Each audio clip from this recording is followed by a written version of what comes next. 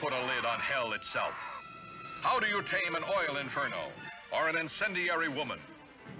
Ask the Hellfighters. Starring John Wayne.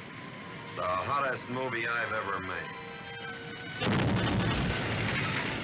Such fires happen around the globe. Texas, Canada, Malaya, Venezuela.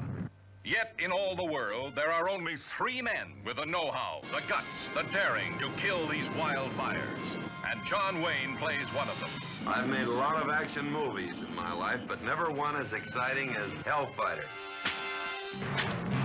Back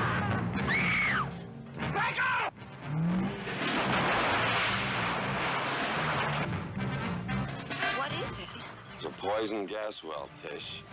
This is the true story of the men who fight oil field infernos around the clock, and their women who go through hell night after night. Katharine Ross, Academy Award nominee for The Graduate. Greg's in trouble. Jim Hutton.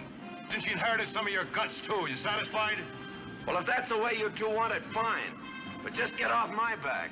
Vera Miles. Thank you for being honest with me. Well, where does that leave us, honey? I don't know. Dad!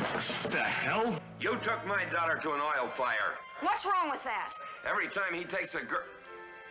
Every time... Sputter away, Dad. We got married yesterday.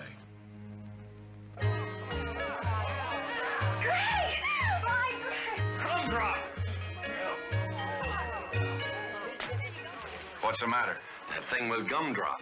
Didn't look like any poor butterfly act to me. Why, you dirty-minded old den mother. She's gonna name her first baby after me. Oh! Nothing too hot for them to handle.